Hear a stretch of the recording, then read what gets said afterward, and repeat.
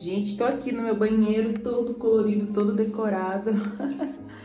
Eu vou testar hoje a linha banho de verniz da Forever Liss. É essa linha aqui, ó. Então, que eu vou estar tá testando hoje.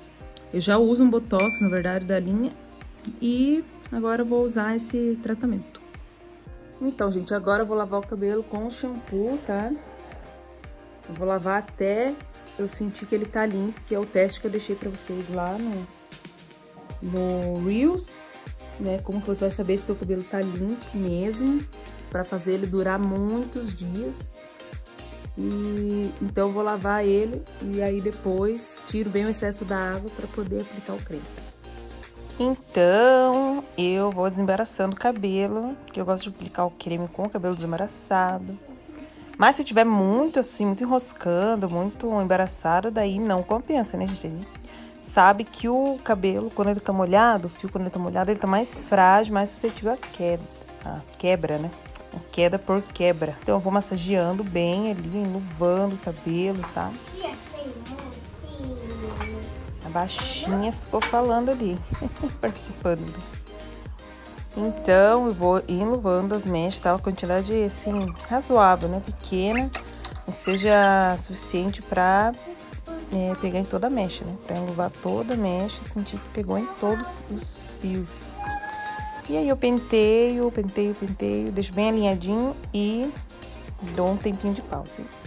E aí vocês podem ver que o resultado, só escovado, fica de um jeito e finalizar com prancha, ele fica muito melhor, né, gente? Eu fiz umas ondas assim, que eu vou desmanchando depois. E... Mas assim, só com escova não deu. O que, que eu achei? Hum, no final vocês vão saber. Tá? Mas aí eu finalizei com a prancha, com as ondas dos dois lados. E também gosto de aplicar um reparador de ponta. Aí você dá a Mende, se eu não me engano, óleo de marula. Não tem como, gente, ficar sem silicone no cabelo. Ele protege os fios, não deixa a, a umidade do ar assim, é, embaraçar o cabelo, armar. E então, assim, é um produto que a gente tem que usar mesmo de dia, de noite. E, e é isso, né, gente? Então, gente, eu gostei bastante.